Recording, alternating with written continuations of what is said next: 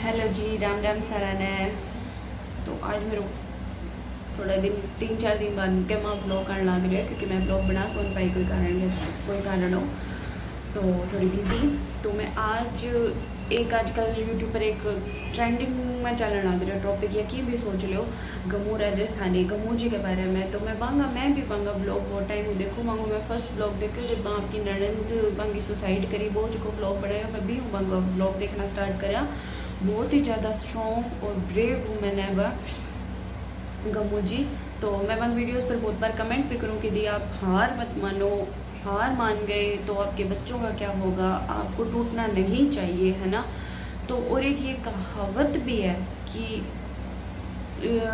अगर आप life partner अपना अच्छा चुनोगे तो उस, वो आपका भविष्य पे, भविष्य भी उस पर डिपेंड करता है, आपका भविष्य भी बहुत अच्छा होगा, है ना? तो माना कि हमारे समाज में जो है, लड़कियों को अपना लाइफ पार्टनर चुनने का अधिकार नहीं है, पर पेरेंट्स को इस चीज़ का सोचना चाहिए, है ना? क्योंकि पेरेंट्स एक बार तो अरेंज मैरिज खुद देख के कर देते हैं, पर अगर आपकी लड़की वहाँ पर खुश नहीं है या उसको कोई प्रॉब्लम है तो उसको भी मतलब देखना चाहिए।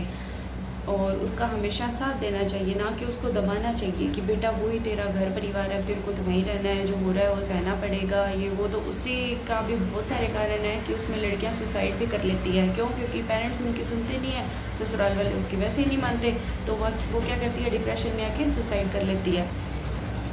तो पेरेंट्स को उनके जो करीबी हैं, उनको उनकी चीज़ें समझनी चाहिए।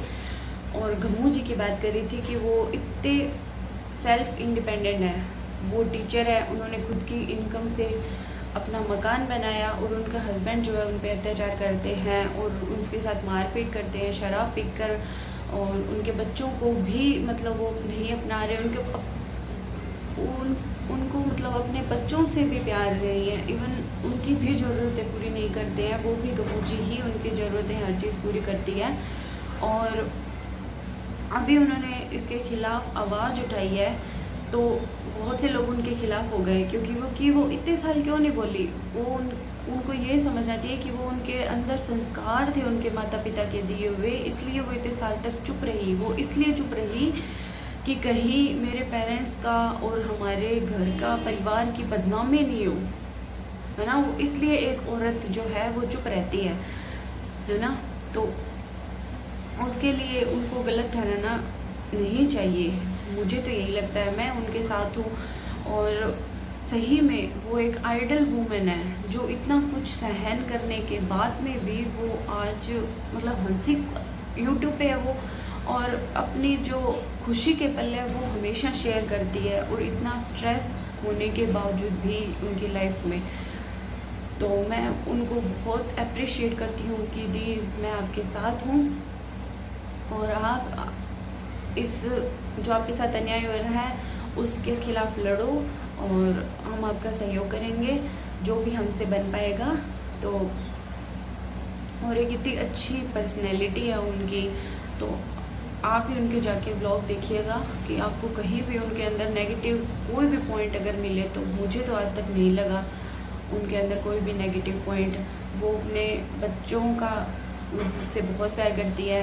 अपने जो वर्क है, उनका टीचर है, वो उससे भी बहुत प्यार करती है और इतनी वो टैलेंटेड है, वो अपने जो कपड़े वगैरह होते हैं, वो खुद सिलती है, अपने बच्चों के लिए ही वो सब कुछ करती है ताकि कहीं से भी मतलब इनकम का सोर्स आए इनकम निकले, है ना?